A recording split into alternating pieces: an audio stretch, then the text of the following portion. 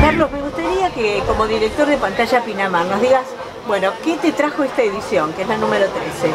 El número 13 me trajo un número difícil, pero lo hemos este, capeado bien y eh, una gran suma de satisfacciones. Por de pronto, que sea tu primera visita a Pantalla Pinamar, después de hace 12 años que estamos peleando para que venga. Eh, y bueno, yo creo que por aquello de Vox Populi Vox Day, la reacción del público que vos has notado durante todos estos días este, ante la cantidad, diversidad y carácter tan seductor y residual de la programación, eh, para mí es el, el, aliciente mayor. Creo que hemos tenido grandes visitas como Sanusi, figuras argentinas para premiar como Martínez o como Jorge Marrale, eh, la presencia de Graciela, eh, la familia Sandrini con el, estreno del documental sobre él. Ha habido grandes caras, grandes talentos. Eh, a mí me enorgullece muchísimo esta presencia diplomática que asegura no solamente grandes películas y títulos importantes y recepciones temáticas lindas, sino además prestigia al festival y le abre tanto al festival como a Pinamar las posibilidades de un intercambio con el mundo muy abierto y además estoy muy orgulloso de que se trate de embajadores, vienen con sus colaboradores, pero siempre está el primer nivel presente. Y después lo que creo es que mm, una vez más he vuelto a confirmar y esta vez me tiene más orgulloso que nunca, que el público nuestro, que por suerte se repite en un porcentaje muy alto, gran cantidad de las caras son siempre las mismas, cree definitivamente en la propuesta de Pinamar. O sea, si vos eh, pones una película francesa con un director conocido, una temática llamativa, figuras de renombre, va. Si pones una película rumana con un director reconocido, una temática de principio árida y figuras que nadie conoce en esta parte del mundo, va. Y como en ambos casos sale absolutamente halagado por lo que ha visto, esa confianza se va ratificando y multiplicando. O sea, la gran suerte que yo tengo es contar con este público, con la incondicionalidad, y eso me permite seguir abriendo puertas con cierta audacia y recurrir a países sin una gran tradición en la cartelería argentina, eh, ir a explorar idiomas de producción o estéticos que a lo mejor no son los habituales, eh, atreverme con temáticas que, que rompen con los moldes habituales y sé que si el producto es bueno, la gente lo va a aceptar. Entonces esta fidelidad del público, esta respuesta los organismos de promoción del cine europeo, esta adhesión de la familia del cine argentino, esta creciente respuesta de la prensa y el, el sí rotundo del público suman una suma particularmente satisfactoria y que, justifica lo mucho que trabajamos y, lo, y los devaneos y los contratiempos y las desilusiones parciales que conducen todas por distintos caminos a un resultado feliz.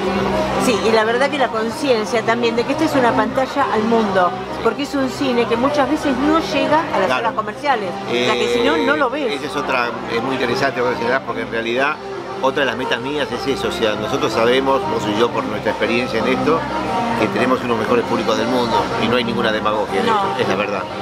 Eh, es un público que consume mucho, que consume calidad, que acepta desafíos, que eh, se atreve a incursionar en, en terrenos no habituales.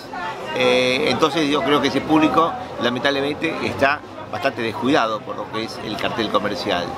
Tenemos mm, muy pocas pantallas con demasiadas películas, demasiadas copias de la misma película. Sabemos lo que es la omnipotencia del cine norteamericano, que es un tema mundial. Claro. Sabemos lo que le cuesta a una película argentina salir fuera de un espacio inca si no tiene un apoyo importante. Sabemos lo que le cuesta al cine europeo y de otros continentes encontrar un agujerito. Entonces, un privilegio un poco triste, pero privilegio al fin que ofrece Pantalla Pinamar es, además de anticipar todo aquello, lamentablemente escaso que se va a estrenar, dar por única vez la posibilidad de conocer películas que, pese a sus enormes merecimientos, no tienen ni medianamente asegurado la presencia del cartel argentino.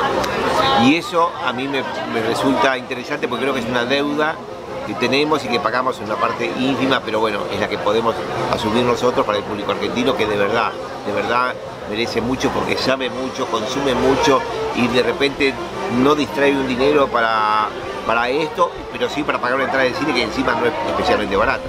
Entonces a mí me, me interesa mucho gratificar al público argentino y yo creo que estas secciones, como un día un film, estas propuestas de embajadas que también son películas que en su mayoría entran y se van, funciona. Y además una cosa que ha ocurrido en los últimos tiempos que también es digno de señalar. Nosotros no tenemos ni un mercado, ni una sales office, nada, pero vos sabés que todos los años, desde hace 4 o 5, dos o tres películas por lo menos que vienen así para irse, se quedan. Debido al fervor que muestra el público, ustedes, eh, la posibilidad de tomar la temperatura in situ, de saber al, distribuidor qué podría pasar con esta plantilla, que es la potencial repetición de lo que va a venir. Entonces, o sea, que películas se quedan, entonces eso es una satisfacción inesperada complementaria y fundamental. O sea que tanta es la fuerza que tiene esto que además decide que en un marco donde no está nada armado para la, venta, se vendan películas. Así que también eso es una puntillita aparte de la torta. Bueno, y esta última pregunta que te hago, espero que la respuesta sea no. Porque hay un rumor que dice que estabas cansado y te querías retirar de pantalla Pinamar. No, yo digamos, eh, no, no, no, para nada. Es decir, yo tengo una edad de jubilación hace rato posiblemente me, jubile, pero no me jubile del trabajo. Estas cosas no se jubilan. Formalmente, aparte cuando hay que jubilarse, hay que jubilarse. Pero no, no, no, digamos, este, yo sé que hay rumores, pero eh, eh, en lo que tiene que ver a mí y mi equipo, pequeño y poderoso como vos lo conocés, para nosotros eh, es más, yo ya estoy absolutamente entregado al diseño de lo que sería la próxima edición. En mayo viajo a, Cannes, que es el principal punto de referencia mío, e incluso ya tenemos pensados algunos de los países y palabrados algunos de los países. Que, así que me quede muy en claro, desde el punto de vista de Morelli y compañía, el festival sigue. Me encanta la respuesta, gracias. Gracias.